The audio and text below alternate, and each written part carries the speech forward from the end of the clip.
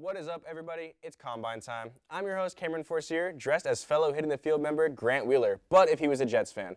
New Call of Duty just came out, so I'm sure y'all can guess what I did the past few days. Hence, I was Kyler Murray. I'm already almost first prestige.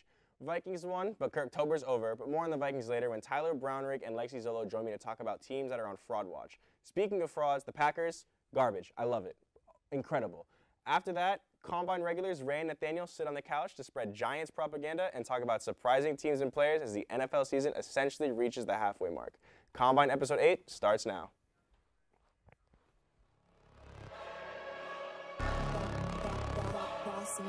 Things gon' change when I really hit the field. Undefeated chance, man, you know what's the deal.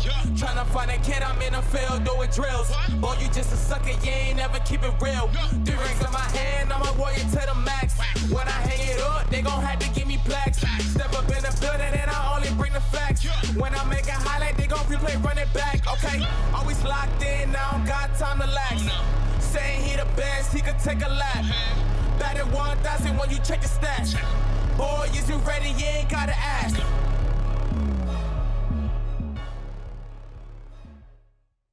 Welcome back. I'm joined by Lexi Zollo and Tyler Brownrigg to talk about a huge problem in the NFL this season fraudulent teams. Lexi, Tyler, introduce yourself. My name's Lexi, and I'm dressed up as a bunny today. Oh, I'm Tyler Brownrigg, and I mean, there's a lot of fraudulent teams, and uh, Cameron is uh, our favorite team, the Vikings. I'm, I'm scared about him, Cameron. I, I want to say we're good. I feel like it's this might be it. I'm, I'm, I don't want to say it out loud yet, but I'm thinking it. Define it. what, The- what, is, what is it for you? I don't want to. I don't want to say the words. Okay, I, I, I'm picking up what you're putting down. Yeah. Um, I yes, the Vikings are six and one. Yes, the Vikings are somehow good. I don't get it. Um, I don't. I, we're fraudulent. I don't believe it. We've played such a, a soft schedule. The only good team we've played is the Eagles, and we got hammered by them. You can say it's Monday Night Football. Kirk Cousins is bad on Monday Night Football. It doesn't matter. We played the Saints in London. We beat them, and they were super injured. I just don't believe in the Vikings. I mean, Dalvin Cook has not been great this year. J- Justin Jefferson's still great. Thielen looks old. Defense looks rough. I just the problem the, the biggest problem has been the defense because it's just we don't blitz enough Danielle Hunter's in coverage but the big thing that I like about this Vikings team this year is that we weren't having last year is last year we kept losing all these close games in like the final two minutes blowing leads we're winning them this year we're winning these close games now they aren't against the best of teams but we're winning them. but we're winning them It's I, I think I saw a stat. We're five and one in one score games, and for reference, to start last year, we were one and five in one one Yeah, and it was the other seven in around. one score games. We started last year good, but we just could not win, and now we're winning. I don't. Yeah, our defense is not good. We're 28th in yards allowed per game. Like we get shredded in the air. We play the Dolphins. It's rough. Uh, I'm gonna have to go with the Giants for my team because I mean they had the fourth easiest schedule and now they have the third hardest schedule, so it's just gonna be downhill from here for them. But uh, Brian Daboll has done a great job at um, uh, changing the culture of the Giants. I mean he's really turning this team around, but I mean. I just don't see them doing that great anymore. I mean, yesterday, I mean, Richie James, I mean, the two turnovers costed them 10 points yesterday. I mean, that's just, that's horrendous. I mean, it costed them the game.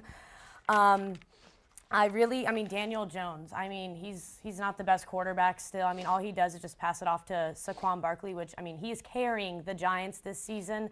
He is our best offensive player we have. I mean, shout out to Darius Slayton with 232 yards. He's our only receiver with over 200 yards. But I mean, Barkley carries the game. He- I mean, every good play is usually because of him. And I mean, I feel like we need to get Daniel Jones out of here. I mean, with winning so many games, though, it's going to be hard for Daboll to do that. But um, I, th- I think it's hard to get rid of Daniel Jones The Giants are faced with that problem because Daniel Jones is coming into this year. Daniel Jones was on the hot seat. They kind of didn't know what they were going to do, and then they're winning games somehow. Like it's Yeah. They were projected to be awful, but now they're great. And but no, they do have. They still have two games against the Eagles, two games against the Cowboys in their division. They're, they already played the Cowboys. well, one game Oh, no, against one the game Cowboys. against They the already Cowboys. lost Yeah, they against lost the to They already Cowboys. lost against the They joined the Cowboys. they, they, they joined the Cooper elites, lost to Cooper Rush Rush, Club. Club. That's right. That is right. I forgot. just think I don't think they've beaten anyone impressive other than the Ravens. They've had a very easy the schedule. Ravens and but and the the reason I think they can still make the playoffs. Maybe they sneak in in like that seven seed. But they don't Oh, yeah. have a wide receiver. They don't have a. You need a real wide receiver core to win They don't in have the one. NFL. They No, they, don't. they entered this week without a 200 yard receiver. That's And they- not and they sustainable. only have one. It's not Kenny Golladay, still yet to score a touchdown and is still injured. That's one of the worst contracts ever now. Kenny or uh, Kadarius Toney, not on the team anymore, wasn't playing. Sterling It's just- Shepard tore his ACL. It's, It's just, just Yeah. no nothing's going right for them in the wide receiver room. But this this team is a Saquon injury away, I think, from just falling apart. With Toney leaving, that takes away from our receiving core, which was already less than average. And I mean, I do think we have a good chance at getting into the playoffs, but I would definitely see a first round exit. I just don't think they're good enough anymore. we, we, Giants fan. Yeah. Closet Oh Giants. God. Giants fan oh, now. Oh, Look at God. Ray over there. He's so Ray and the- excited. Ray's, Ray's dancing. You Yeah. got a new one. we got what four? Four. Yeah, Austin, four. them two. Oh God. Four. We're at Yep. four. Giants fans. Daniel Jones. I don't know how I feel about Daniel Jones because he has he okay. He leads the league in game-winning drives. He has five. He's tied for most fourth-quarter comebacks with four. with Matt Ryan. It's, I don't know if what that's a product of just not getting it done in the first half and first three quarters and having to play catch up, or if that means he's actually clutch. He's he's a runner. I don't know if it's. Yeah. I don't. I, he is.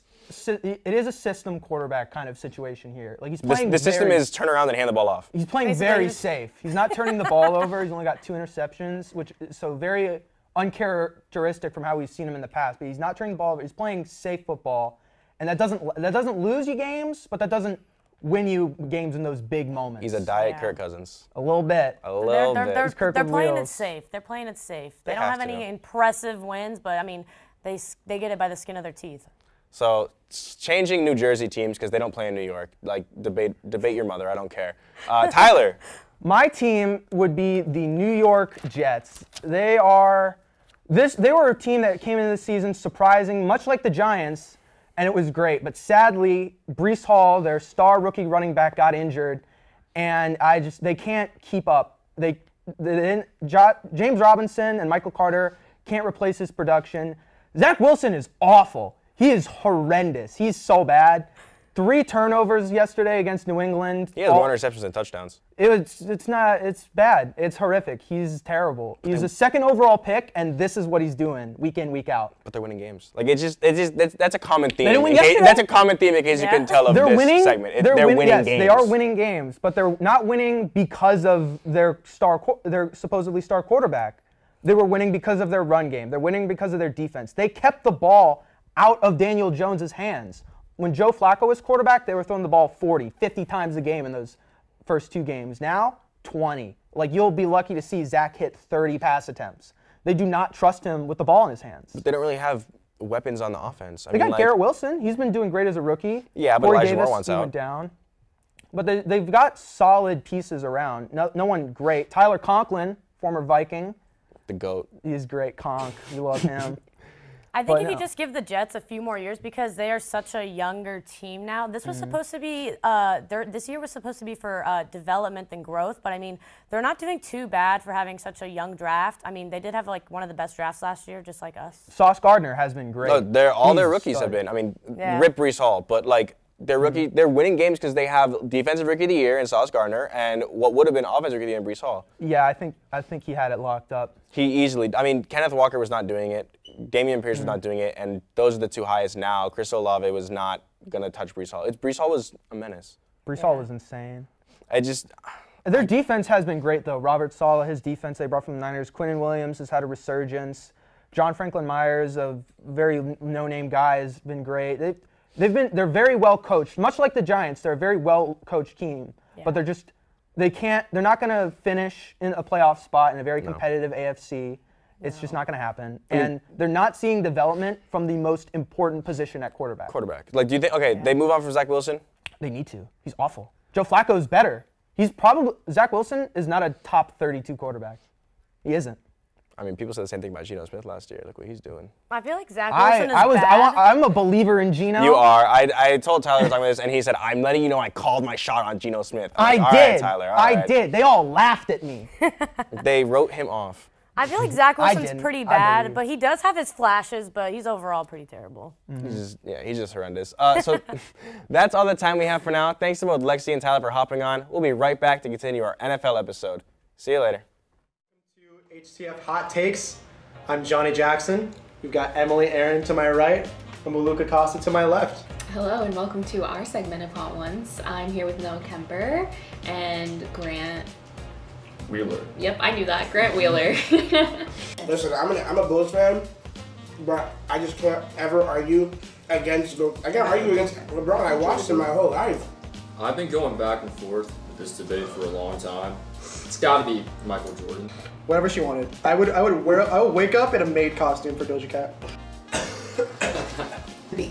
Brutal. Jeffrey Laux, no question. Richie, I would give it to Richie. It is not Richie. It is not Richie. No, it's Jeff. Richie's pronouns are he they because he cannot be him. What? Oh, wait a second. I'm gonna have to also agree and say Jeff. He always is spiffy. It might be Cameron. Cameron's had some good fits. Out of the women, uh, Norelli always dresses really, really cute.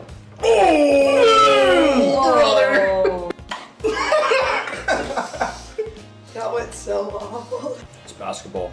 College football, I think, is the best sport to watch. If you don't like soccer, it's because you suck at it. I think college football is the best. Thanks for watching.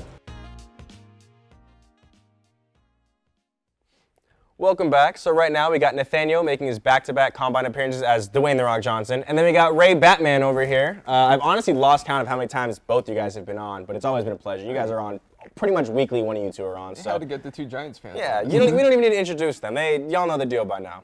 So first off, it's ha- mid-season pretty much through week eight. So if season ended today slash predictions whatever. We're starting with MVP.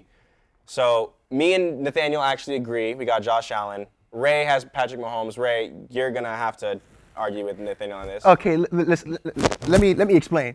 Okay, so first of all, all Patrick, all um, Josh Allen has over Patrick Mahomes right now is yardage, and yardage isn't all that's cracked up to be. He Because has, right now, he has a head-to-head win too. yeah, he has. But think about it. What's it called? Um, Josh Allen has the. Let me look at my I gotta go to my quick. bat notes Let real me go to my bat notes real quick. The Bills have the fifth-ranked passing defense right now, and the the freaking uh, and the freaking the Chiefs have the 27th pass ranking defense. So it's, you can't really you can't really um Compare. you can't really compare their their, their performances against each other because the Chiefs' passing defense just ain't it, while the Josh Allen's defense is.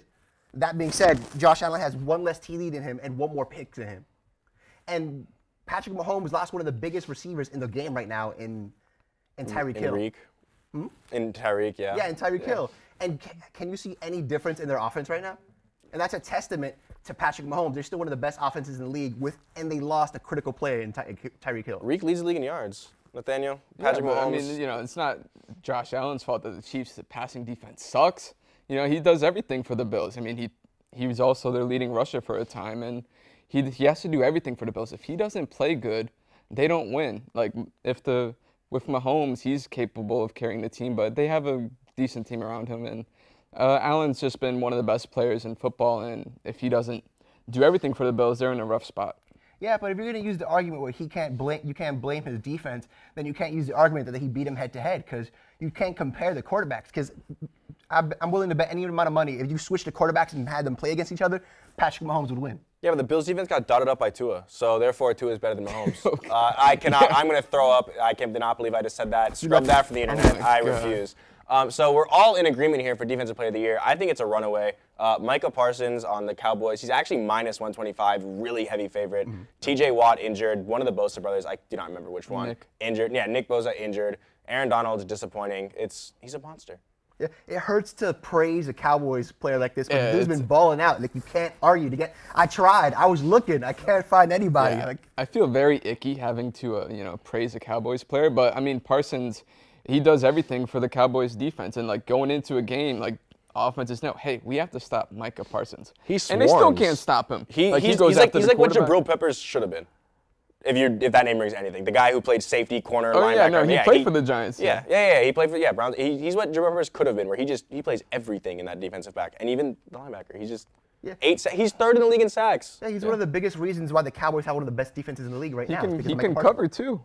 Yeah. He, well, eh, this year's been weak in coverage, but like he can. He can. But I mean, he's not just a pass rusher. No, but I mean that's how they use him because I don't Yeah, know what they have as a no- no one cornerback. can I'm, I'm not gonna lie. I don't know much about the Cowboys' secondary depth chart. So As you should. As I should. I just not my that is not my division. So we have a we're stealing it from NBA. It's not a thing. It should be a uh, an award. Instead, they have comeback, whatever. Most improved. We're starting with It has to be Geno Smith. I mean, everyone was writing off the Seahawks, and everyone was writing off Geno Smith, but he didn't write back. And now the Seahawks are five and three. Geno Smith's thrown 13 touchdowns and only three interceptions. I mean, without him, they aren't where they are. And everyone thought with the trade of Russell Wilson, they would just fall off, but that has not been the case. If anything, like, they've gotten better, which is shocking to say. I hate that quote. I hate the I didn't write back. And I, I, it doesn't make sense. I heard it and I was like, that does not make sense. And then it, everybody ran with it, and I didn't have the heart to tell people it's stupid. But here we go. It's stupid. You're telling me it's stupid on air? How dare you? I'll tell you it's stupid off air too. I don't. That doesn't change anything. For me, my most improved player's got to be Jalen Hurts. He's been balling out this week, this year. He's led his team to an undefeated record, which, if you look last year, they were nine and eight. They were a hair over 500. And to lead us, any team that's over 500 or is winning games like this, it's because of their quarterback. It's a quarterback-driven league, and he's already got. Let me see, let me look at my back notes here real quick. he's already got 10 touchdowns on the season with six rushing. I think the best part of this is that when you do that, I can hear your mic just scrape up against your entire chest plate. but no, the way obviously Hurts is so much better compared to last season. He's able to throw the ball, but also the trade of AJ Brown was huge. I mean, having that number one wide receiver, it's just you know it's the safety blanket for him, and that's you know he's really elevated their offense along with the improvement of Jalen Hurts and complementing two NFC East teams. Uh, can we uh, change topics? and No, we're not from that? actually. Well, yeah, we are. The only, the only thing I hate is just he's. Uh, just look at him, and he's obvi- he's looking better than Dak. Honestly, I'd say he's the best quarterback in the NFC East, and it's not a question. He is. He's third in MVP. I, he doesn't win MVP this year, obviously, but Mm-hmm. I think that in NFL or even NBA too, for to win MVP, you have to have the year in front of it to kind of put your name out there. And I think he's starting his next year MVP run. I don't Mm-hmm. think he's gonna win it, but like I Oh, think he really is starting it where he's gonna finish top three this year and probably top two next year. My most improved.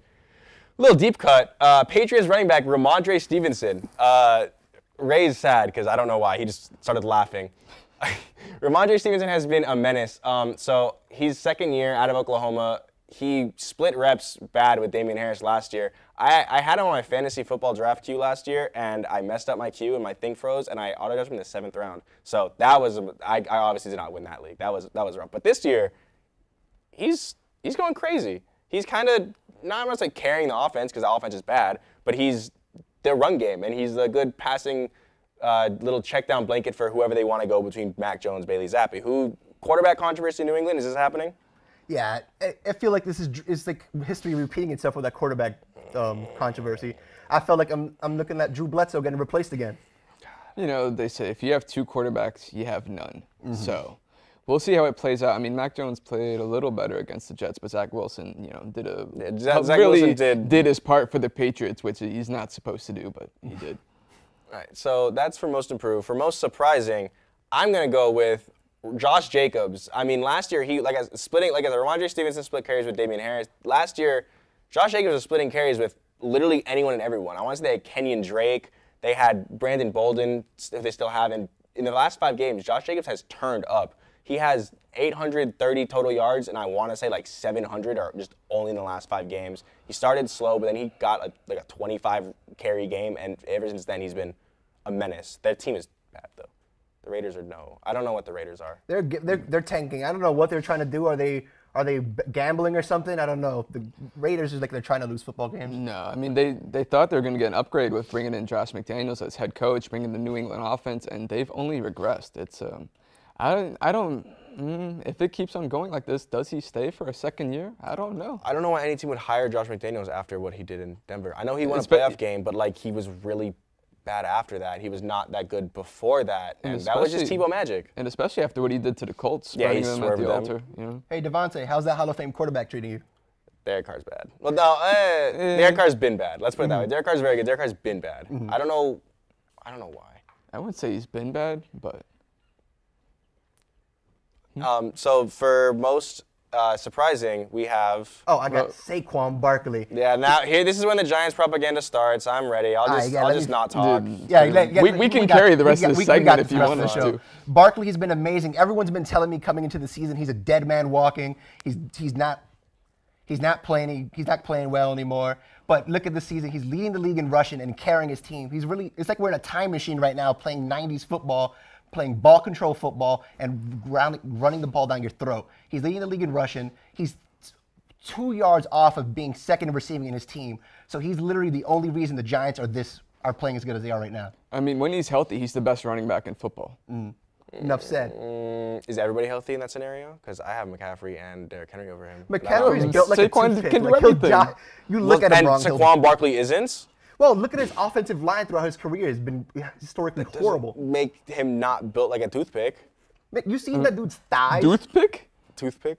Toothpick? Toothpick. It sounded like toothpick. Sorry. No, it, like just because like I don't I have an issue saying Saquon's the best. He's top three, but I don't have him above McCaffrey or Derrick Henry. I think you put McCaffrey's never healthy. I can I can live with Derrick Henry, but McCaffrey's never healthy enough. and not and and Saquon Barkley is I'm talking about this season right now. You would pick you pick McCaffrey over uh, uh, Saquon in the right now. Niners offense. Absolutely. No, not that Niners offense. We're It doesn't matter. I'm taking him right now, and McCaffrey's on the Niners. So you put McCaffrey on the Giants offense, and he's still performing as good.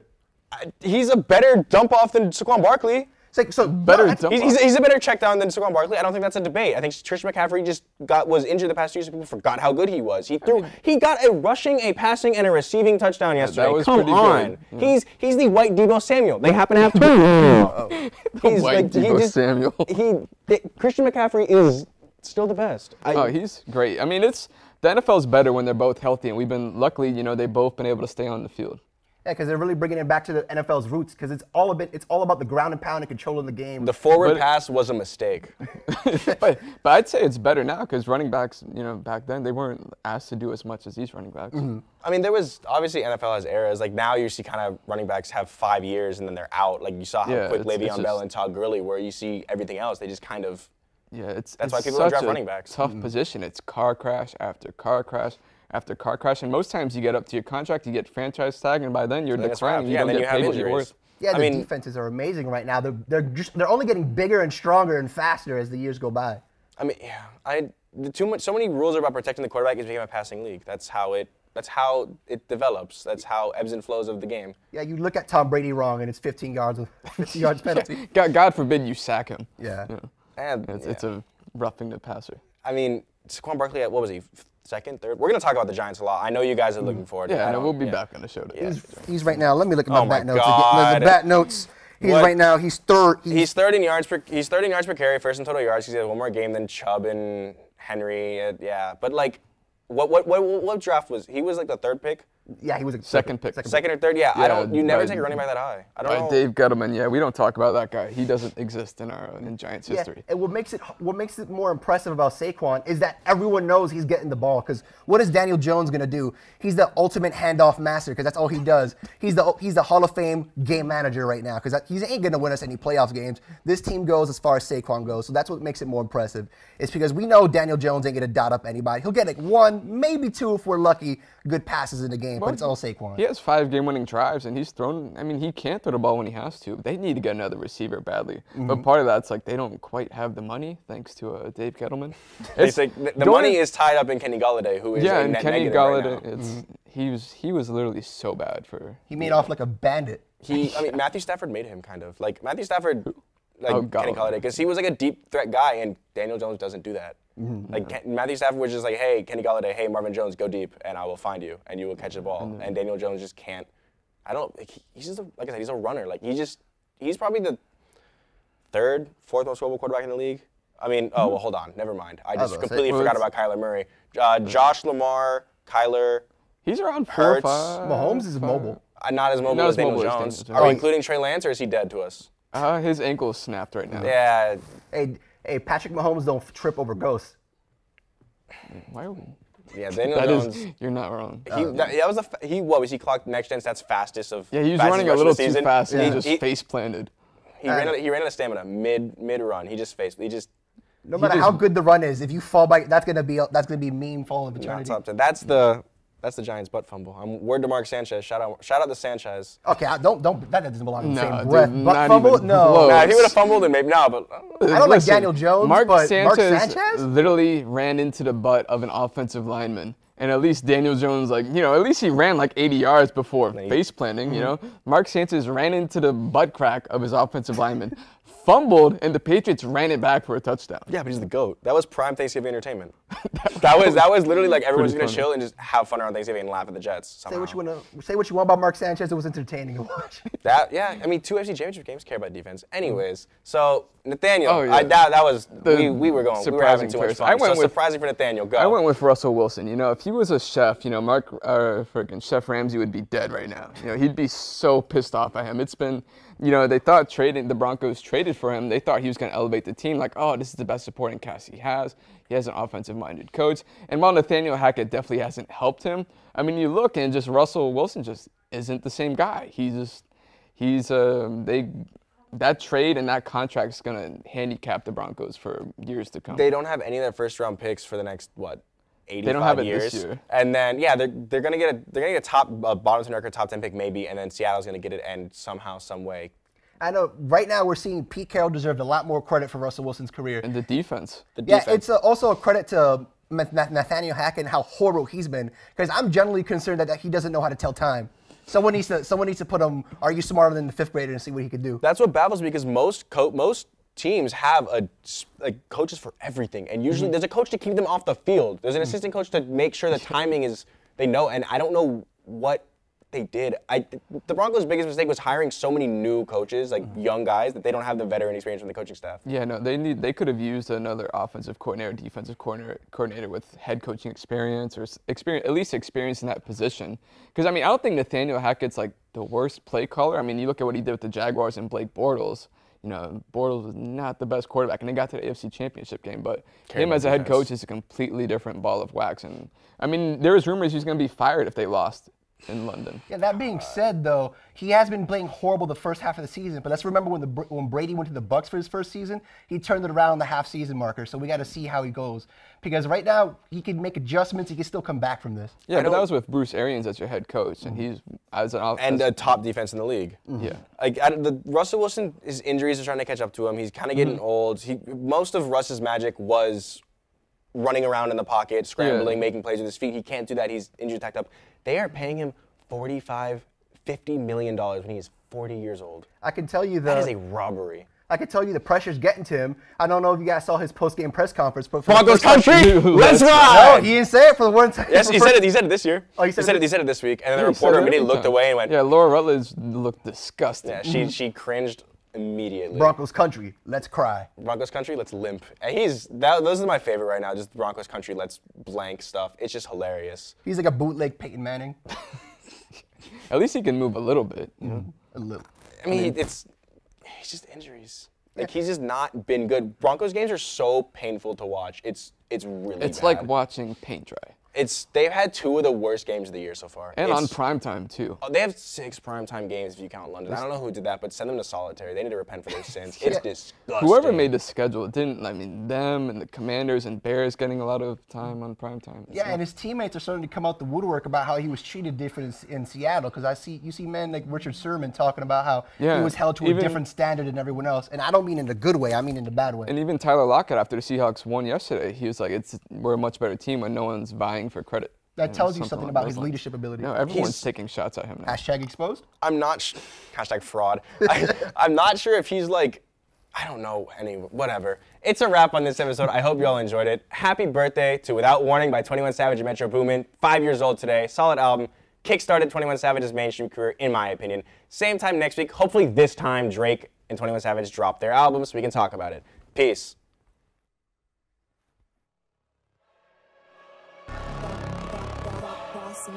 Things gon' change when I really hit the field.